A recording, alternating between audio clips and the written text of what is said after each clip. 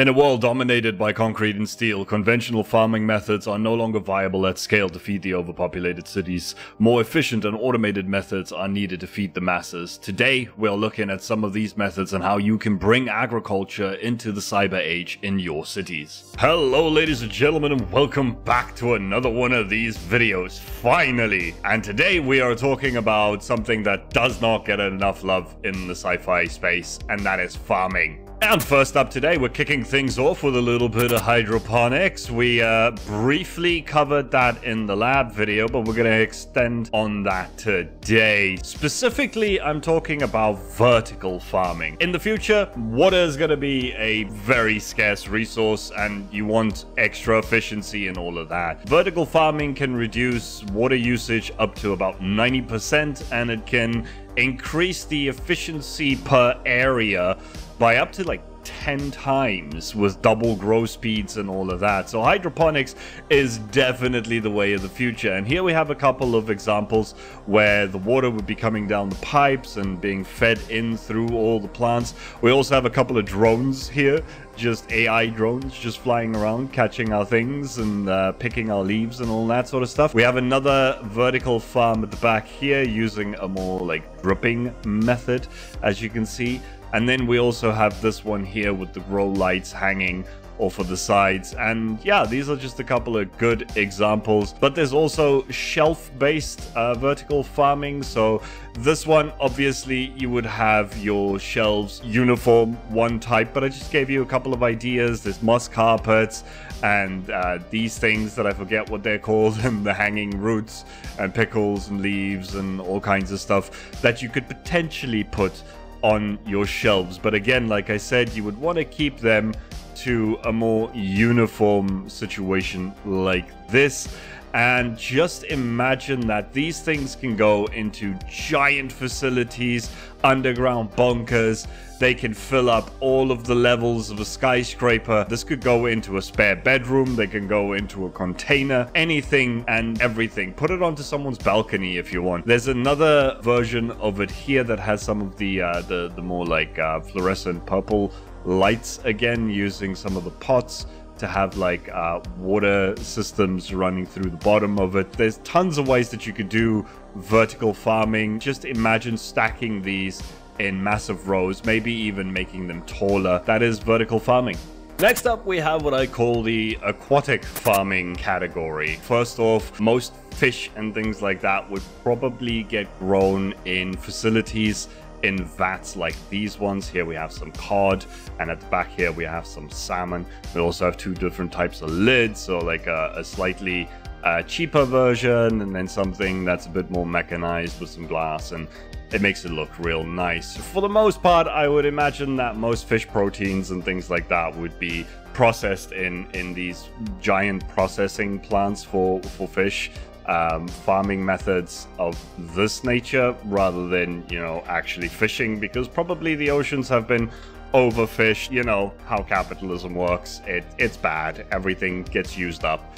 And so this is probably the best way to get fish. Bonus points for hooking these ones up with some pipage to go through your hydroponics setups, turning them into aquaponics setups, which will take your double grow time and probably double that even more. You know, because nothing is better for your plants than that sweet, sweet, nutritious fish poop water. And then every cyberpunk setting is, you know, there's a lot of Asian influence, right? And and what is Asian influence if not sushi? And nori and seaweed and things like that. You're probably going to have loads of facilities that are growing kelp and seaweed and things like that. In this case, yeah, again, just a facility for growing these things rather than getting them out of the ocean, which uh, is probably not that viable anymore. And in this case, I just kind of, for, for funsies, just kind of set it up to be an actual usable farm because why not? Next up, we have what I like to refer to as the downtrodden methods, the uh, the low-tech, low-life methods. And one of that would be just growing some mushrooms in your basement. I mean, giant facilities for mushroom growing and fungus growing and moss and algae growing would also be viable, but just a very rudimentary example. But just, you know, chuck some mushrooms in your basement. They're super low tech, they grow pretty easy, they're very cheap to grow. That would definitely work. But then also, and this is not a full building. Imagine that these are just the rooftop. And on the rooftop, why not? Yeah, chuck some gardens in there. Imagine for a second, if you will, that there's a very downtrodden part of town where, you know, the people are not very well off, probably can't afford the best of food. Um, but then, ironically, uh, this is probably better than most of the things that you would get in the supermarket anyway. But some old codger decided instead of spending his retirement years just uh, sitting in front of the TV doing not much else, he was gonna decide to build a rooftop garden and supply some extra food for his community. Even though these people are living in dire circumstances, it doesn't mean that there isn't some sort of sense of community, right? So these people could very easily just make some rooftop gardens and supplement for the most part, their food expenses by growing a little bit of their own. Now that we got some of the urban methods out of the way, let's move back to a little bit of legacy agriculture here and uh, look at some heavy machinery and some actual field-based agriculture. First up here, with the help of our uh, old friend, Captain JEK, I bring you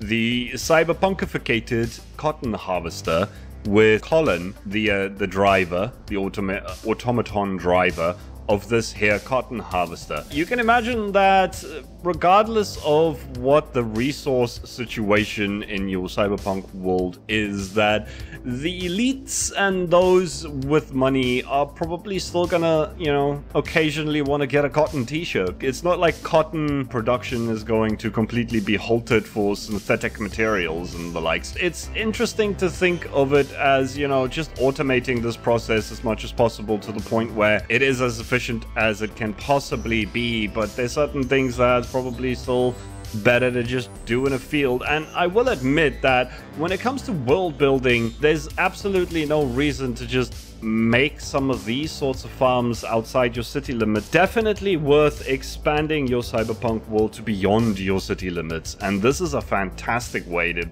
just fill up swaths of land by adding some legacy agriculture. So we have the cotton harvester here, and I've given you guys a bit of a flyby, but as usual, there will be a world download link in the description, so, uh, you know, go check it out for yourself and see what it's all about. And then the next one we have here is an autonomous tractor. And in this case, the tractor is pulling a plow, so you can see the uh, the tire marks and then, you know, the plowed area here. And yeah, this is just a completely autonomous tractor that actually exists in the real world. You guys can go and look it up. The name of it is the Case IH Tractor. It's a really cool tractor, and it's just another example of not needing human input. This is completely autonomous, and it could just pull the plow for days. It does still run on a diesel engine, but you know, um, you could easily replace that with some extra solar panels or something like that and pretend like they've passed that sort of requirement. Then next up we have a big old combine harvester and it's being powered by Conrad, Colin's brother. So yeah, just again, a combine harvester that's been automated. Uh, most of the, like, you can't turn this into a thing that just has a little driver module or anything like that because it does still need all of the rest of this for processing. You got like the, the husks and things here and then everything else gets spewed out back and all of that sort of stuff. You can't really replace the entire machine with just an autonomous little driver module here, but you could still automate the driving part and end up with something that looks a little bit like this. Custom heads can be replaced for certain other blocks. A little bit of custom headage is always uh, fun to play around with if you have the ability to do so. The neon signs is definitely a good addition to make sure that you get like some extra levels of detail and a really cool banner here at the back. And then finally we get around to drones and I have here two of my own designs.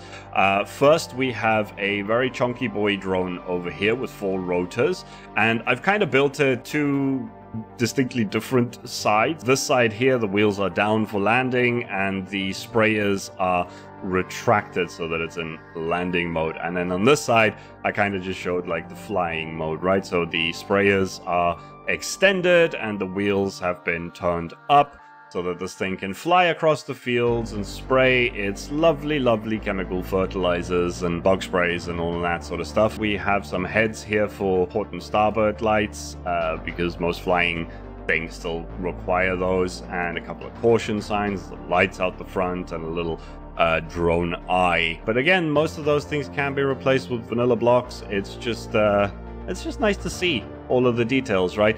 And uh, I've been using some hopper minecarts up here to for, for like the center bit of the rotors because I thought that they looked pretty cool like that. And then the final one we have here is a repurposed drone that we used for for our airport video actually and I've just repurposed it into an actual autonomous crop duster, or maybe not necessarily autonomous, but definitely remote use, right? You could just have someone sitting in a control room somewhere and just flying this thing across all of the uh, the crops and dusting them with all of the uh, pesticides and things like that to ensure that they get you know maximum yield. And that, ladies and gentlemen, is as they say that. Thank you so much for watching. If you enjoyed this video or found any of it helpful, please do leave me a like. It helps out a ton. Subscribe if you haven't already. And for all of your livestock farming needs, I'd refer you to the lab video on screen right now because, you know, vat-grown proteins and whatnot. Bye.